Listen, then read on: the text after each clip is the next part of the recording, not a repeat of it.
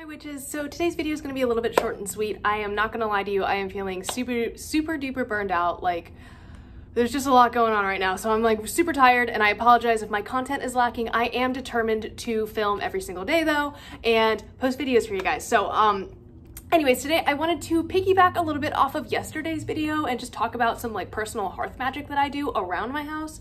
Um, I kind of feel at this point, like I almost feel like I'm repeating myself a little bit, but if you are new to my channel, hello, welcome. I have tons of links. I have a Patreon if you are interested in learning more things about witchcraft beyond my little videos. I also do tarot, tarot reading, monthly tarot reading. Whoa, there's like a little beam of light. That's kind of interesting. Um, weird. um, that didn't help. Oh well, it's just gonna be in the video. Sorry guys. Um, but, oh, I wonder, is that a heck? Is it? No, it's not. It's just the window. It's fine. Never mind. I thought that was really witchy. It's not. It's science. Um, yeah, obviously really disjointed and not good at talking in a straight line. Sorry, guys. Um, anyways, I do have a Patreon. I do tarot readings and crystal curation and spell jars and moon manifestation work. Um, I also post three extra times a week and I am always super accessible on Patreon. So if you are interested and if you are new, because I have gotten so many new subscribers over the last month, like 150 plus, um, which thank you so much. But um, I do have a Patreon, so if you want more of me, hello, there we go. So I know I don't really fit like the description of the like typical like 1950s domestic like homemaker type. I don't really want kids, but I do a lot of magic within the home because I think it's really important to have like a sacred space. I think that having a safe space within the home is like a foundational thing for a lot of witches, which is why, which is why, um, a lot of people don't actually like talk about their practice until they are like moved out of like their parents' house, like in my case, or maybe are living with a partner who does understand. So that's like totally valid and totally cool. Um, but there are some things you can still do to create a sacred space, like even if you're like in a college dorm or uh, maybe living with roommates who are just kind of like, what? Um, so some of the, I just wanted to kind of go through some of the things that I do um, in order to kind of protect my home and do hearth magic within my space. I'm really lucky in that I do live in my own apartment and I have been living here for almost three years. Um, so I've had a lot of like freedom. Um, now, again, we rent, so like I can't like paint the walls or anything, but something that would be cool is to like paint sigils into the paint like to protect and fortify the walls of your house. I think that is really awesome. So like you would do like a layer and then of paint and then do your like symbols and runes and then paint over that again. So it would all be in the same color and it would all like kind of match up but you would know it was there and it would still be there. So you could do sigils you could do runes whatever you want to do that is something that I do plan on doing um, in my house when I do move into an actual house. So stay tuned for that. I'm sure I will film the entire process. Um, another thing you guys can do, I think I've talked about this before. Sorry, my boots are squeaky. so another thing that you could do, and I think I talked about this in another video, but it's using moon water to seal your windows and mirrors. Um, so by using moon water and once again tracing out runes and protective symbols on your um, your windows, that's another great way to um, to protect your home. Make sure like no negative energy or less negative energy because I think there's always like a little semblance of like negativity or stagnancy at least in everyone's home. Like it's kind of just one of those things. Like where there's light, there is dark. Where there's dark, there's light. Of course. Um, so you can kind of mitigate that by putting up wards, especially moonwater wards, which are invisible to the human eye, but they're magically. So I think that's really awesome and a way that people who are perhaps um, not like out about their practice can actually practice like protective magic. And I think that is very fundamental to most people's crafts. Um, another thing that I do, I keep a lot of bells around my house.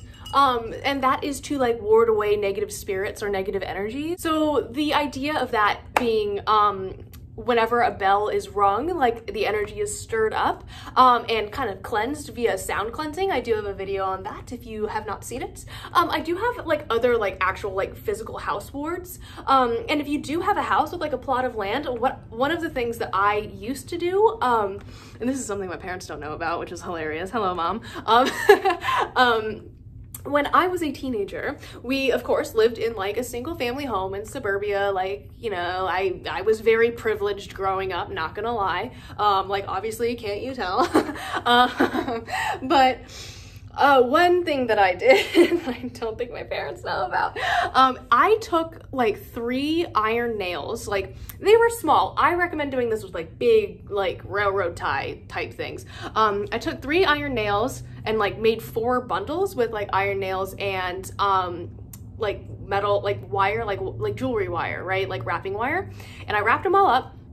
Um, so I had four sets of them and I placed one on each corner of our like property to create a protective barrier for me and my family. So that was something that I was doing even like like when I first started practicing. I think I read it in a book and it was like you must do this. So I was like, "Oh shit, I got to do it."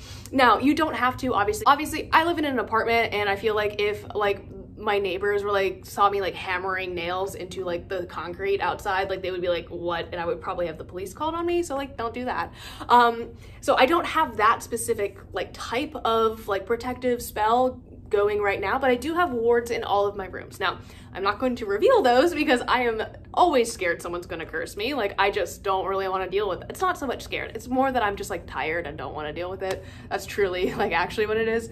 Um, but I do have protective wards all over my house. Um, something that you could do discreetly is maybe leave a crystal above a like door frame or a, um, like a sigil on a folded up piece of paper, you could do that and put it above your door frames because like no one really looks up there. So especially if it's a piece of paper, it'll be flat. Um, and then no one's really gonna see it. So if you are kind of like trying to keep things on the DL, I really recommend that. Um, other things. Um, another thing that I don't really do this so much, but I do see a lot of other witches doing it, um, are floor washes. And this is something that comes from like American hoodoo. So I don't really like practice any of that. It's just not for me. So yeah, it's basically what it sounds like. It's a floor wash. It's um like water and uh, usually moon water actually um, and different herbs and sometimes I feel like people like add soap to like physically clean things but don't quote me on that because again I don't really do this in my practice so much I just do want to mention it in case anyone wants to research it further which I super recommend and super encourage you to do as always yeah the idea behind a floor wash is to wash the floors of your house and like it's similar to like using a besom to cleanse, but it cleanses out and like wipes away all that negative energy. And then at the end, you'll like dump out the water like away from your property. So I hope that makes sense. It's like a pretty simple concept, but it's just not part of my practice. I don't do it a whole lot, uh, or not, or at all actually. Uh, but I do see a lot of other hearth witches who do, and I think it's really cool. So just wanted to mention it. Um, and the final thing I wanted to talk about today, and this is something again, like maybe for like um, kitchen witchery, this is kind of where kitchen witchery and um, like green witchery kind of overlap. I really love simmer pots. Like I, I knew it was a thing, um, but I did my first one like a couple weeks ago. I, a couple months ago actually. Shit. Um uh, time flies. Um but basically like you can use herbs that have specific correspondences to create kind of a scented steam that will like waft throughout your house. You could even carry like the pot of like steaming water throughout all like all of the rooms in your house which is what I did one day to cleanse and it was awesome. Um and this is a great smoke-free cleansing method if you do choose to use cleansing herbs um, or it's just a great method for like stirring up the energy in your house and adding a specific um, like vibe which I am all about. Um, so I I just really recommend looking into simmer pots. The one I made and this is one that I like did I did it again on Mabon actually um, which I should have filmed but I didn't. It was kind of just like beautiful like for me so sorry guys. I actually like just thinking about it I like did put the recipe up I believe on Patreon. Like I'm like 99% percent sure. I'm just really scatterbrained right now. Um, like, but I'm like almost 100% sure that I put it on, like up on Mabon. Um, so the, what I included in it was cinnamon, cloves, allspice, um, moon water, of course, because the full moon was just like two days prior, so I had some moon water. Um, then I had um, apple slices, like kind of sliced in circles, and then orange slices sliced in circles that I like had put in there. And I mixed it up and I let it simmer and bubble, and it was like very witchy. It looked like a cauldron because, like, of course. Um, and it was just really nice, and it made my house smell really good. So um, that was just like a nice, fun way to celebrate the holiday and also like do some hearth magic, some kitchen magic. Um, and yeah, so it's just like a good soup.